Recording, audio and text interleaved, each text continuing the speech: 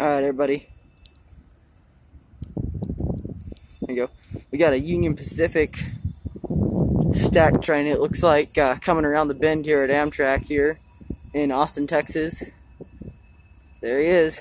I'll show you guys when he gets closer. Here he comes.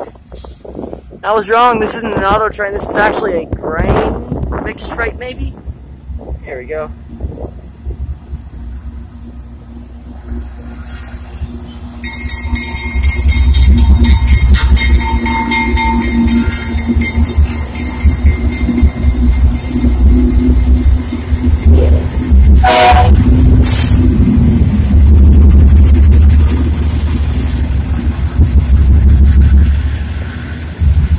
Yeah, this is just a grain.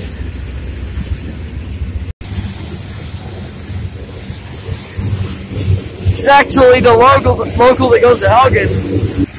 Hi guys, it was literally only grain because here's the end right here.